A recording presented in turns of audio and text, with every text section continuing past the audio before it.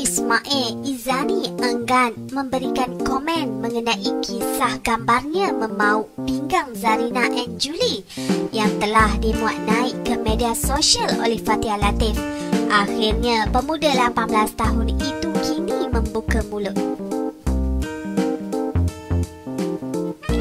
M-Star Online melaporkan Ismail mendakwa terkesan dengan peristiwa itu dan sukar tidur ia berlaku.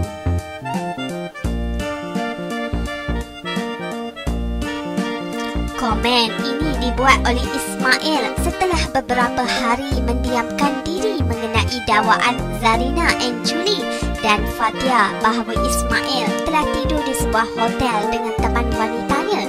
Namun Zarina yang membayar bil hotel tersebut.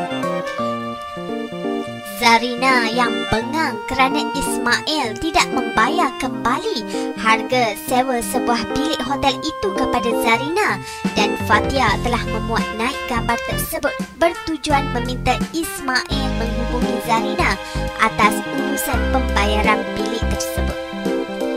Gambar itu juga mengejutkan netizen kerana Zarina tidak